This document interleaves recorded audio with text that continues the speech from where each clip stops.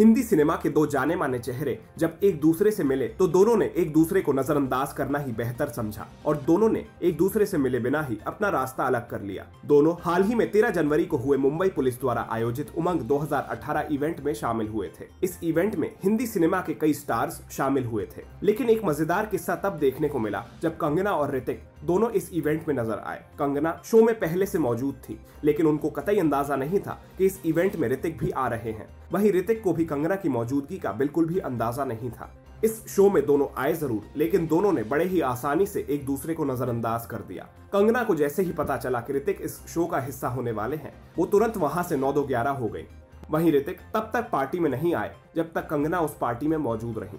कंगना जल्द ही मणिकर्णिका में नज़र आएँगी तो वहीं ऋतिक भी सुपर थर्टी में लगे हुए हैं।